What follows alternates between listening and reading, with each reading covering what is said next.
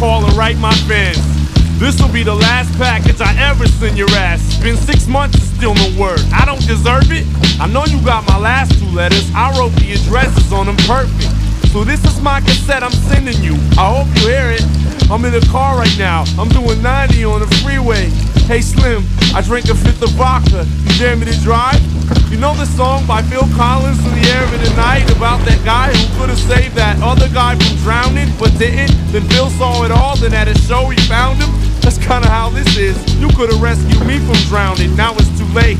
I'm on a thousand downers now, I'm drowsy. And all I wanted was a lousy letter or a call. I hope you know I ripped all of your pictures off the wall. I love you, Slim. We could have been together. Think about it. You ruined it now. I hope you can't sleep and you dream about it. And when you dream, I hope you can't sleep and you scream about it. I hope your conscience eats at you when you can't breathe without me. See, Slim,